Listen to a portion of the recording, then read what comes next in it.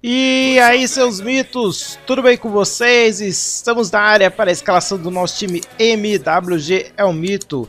Esse daqui é o nosso time mais ousado do canal, é para você que gosta de participar de ligas pagas, liga tiro curto, está participando de algum mata-mata também do Catim Base Course recomendamos você dar uma olhada nos jogadores que separamos para este time, beleza? Galera, aqui no gol a gente vem com o goleiro Paulo Vitor do Grêmio, isso mesmo, o time do Santos é um time que chuta muito, tem o segundo melhor ataque, por isso vamos aqui de Paulo Vitor, porque esse jogo promete muitos chutes, e se Paulo Vitor garantir o SG e boas defesas difíceis, já vai estar fácil, fácil na rodada. Ele tem 16 defesas difíceis, 5 jogos sem sofrer gols e 11 gols sofridos, tem a média de 4.06.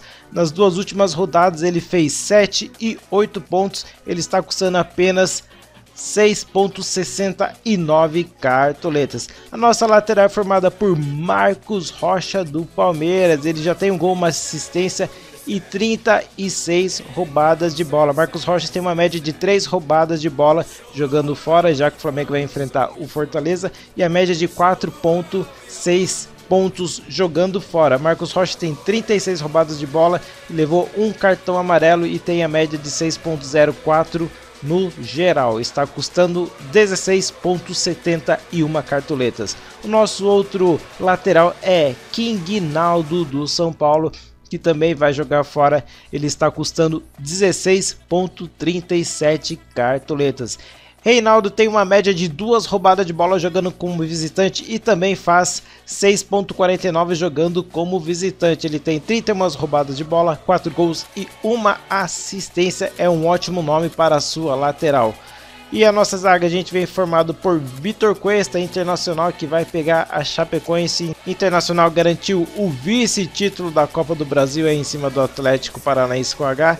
Vitor Cuesta tem 41 roubadas de bola e 6 jogos sem sofrer gols. Ele tem a média de 3 roubadas de bola jogando em casa e faz uma pontuação de 6.26. No total, ele tem a média de 5.93 durante todo o campeonato e as últimas rodadas ele fez aí 7,20 e 0,80 pontos. É uma ótima pedida já que Internacional vai jogar em casa contra a Chapecoense.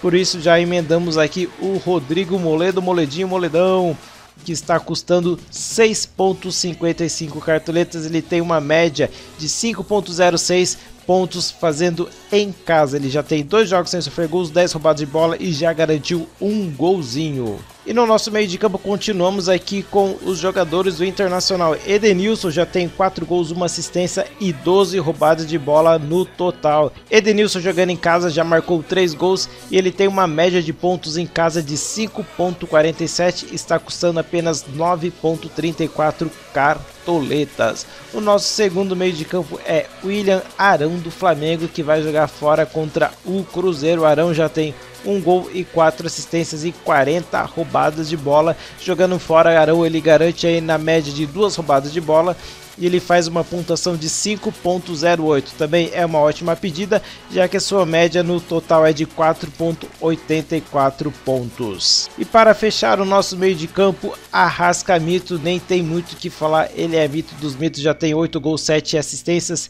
e 16 roubadas de bola. Vale salientar que Arrasca Mito já tem 3 gols fora e uma assistência, ele faz uma média de 7.62 pontos jogando como visitante, porém ele está custando 16.23 e a sua média geral é de 11.63 cartoletas. E para comandar o nosso trio de ataque a gente vem com Gabigol. Hoje tem gol do Gabigol? Tem sim.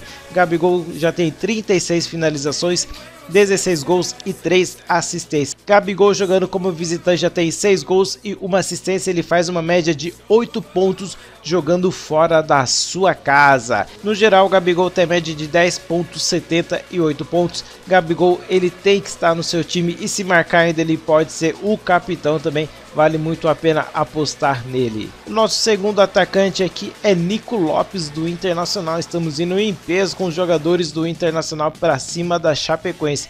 Ele já tem 23 finalizações, uma assistência e apenas um gol. Ele tem a média de 3.44 no total, está custando 16.20. Nico Lopes ele garante 11 roubadas de bola em casa, jogando em casa também ele faz a média de 5.36. Ele tem 8 finalizações defendidas e 7 finalizações para fora. Todas essas informações são jogando em casa, então vale muito a pena arriscar no Nico Lopes, já que o Internacional está magoado aí por ter perdido a Copa do Brasil. Certeza que agora eles vão focar no Campeonato Brasileiro e a Chapecoense pode ser o seu primeiro alvo. E para fechar o nosso ataque, Michael do Goiás custando 7.49 cartoletas, ele tem a média de 3.86 pontos no geral, ele já tem 33 finalizações e 2 gols.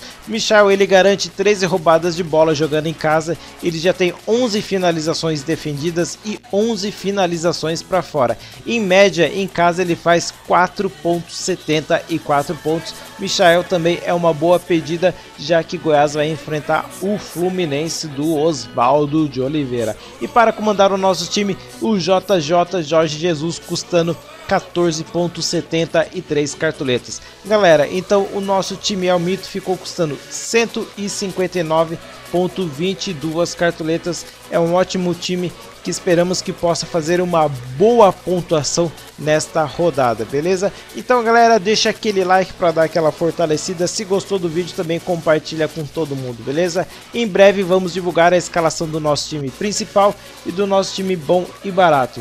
Então, eu agradeço a atenção de todos. Fiquem com Deus, que é a base de tudo, e até a próxima. Fui!